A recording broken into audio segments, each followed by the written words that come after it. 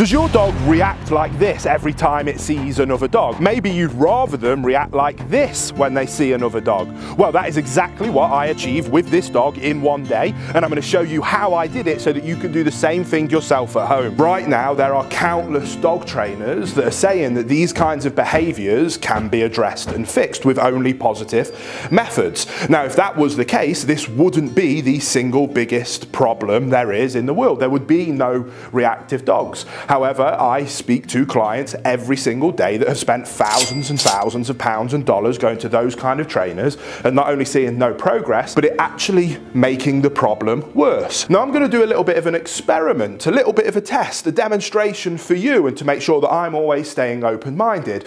And we're going to bring a dog into the equation. It'll be sat just by the cameraman and I'm going to come into the room and we'll observe the reactivity. And we're going to try and address it with a positive only system of training. Use her favourite treats that the owner sent with her. I'm going to come into the room and if and when any kind of reactivity or aggression happens towards my role model dog, I'm going to try and redirect, I'm going to try and distract, I'm going to try and lure her attention back to me with her favourite treats. If she does so, I'm going to reward and we're going to practice that principle and see whether that can fix reactivity in a real world live scenario. Edna, Edna, Edna, Edna, Edna, Edna, good, yeah, good. Edna, Edna.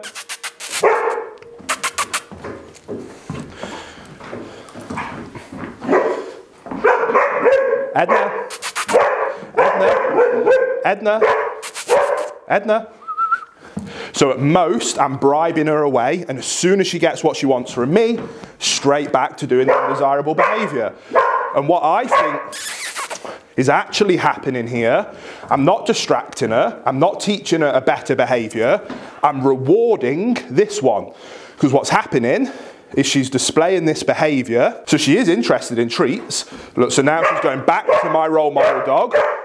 When I'm distracting her, Edna, this isn't a win for me. I've now just rewarded what she's been doing. So what I'm gonna do is show you exactly how it should be done instead. So this is Will from the mystery world behind that door. Just so you don't think we're faking this, you can see I've moved on to a better piece of equipment for my mate here.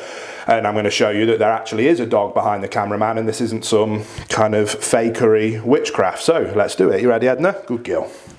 Opening the door. Dog is there.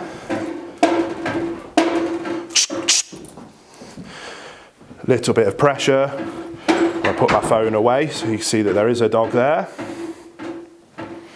Good girl, Edna. Good. I focus on being nice and calm. Good, yeah, good girl.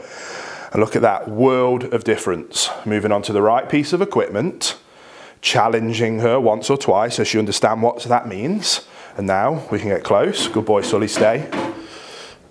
Good girl. Let's go. Good girl. Good girl. Yeah, good girl. And now she gets rewarded. I'm not rewarding her and praising her when she's barking at something she shouldn't be, because like we discussed, that's actually making that behaviour worse because we're, re we're rewarding the behaviour we don't want to see. I've come in, I've changed our relationship, I've used the right piece of equipment for her, when she made a bad decision, I challenged it, minor, a bit of challenging, just drew some fresh lines, let her know, no, we don't do that, mate. This is what I need you to do. And when you do this, good girl, you can get praise. Good girl, good, good girl. And we reward it with food. Now this is a beautiful experience.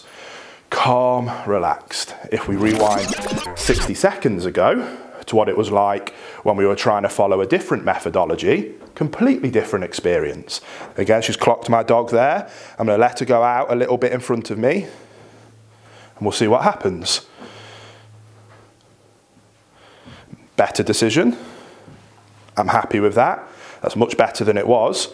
I'm always looking to improve though, and what I would like is engagement on me. So again, Edna. Come on. Yeah, good girl. Good girl. Good girl. So I challenged her ignoring me. When she got to me, I rewarded and praised. Now she actually isn't an aggressive dog. What she is, is a nervous one. So the reason that she was getting a bit nervous then was because I let her go out in front of me. Now if we watch this tiny difference, when we come to a stop this time, I claim this space. Calm, assertive energy. Instead of her being nervous now, she'll be calm and relaxed because I've taken ownership of this situation, which is actually all that she wants. Sits down, and you can look at the windows, you can be a German Shepherd, but you're going to be an amazing German Shepherd that's now going to be a credit to your family. Happy, relaxed, perfect canine companions.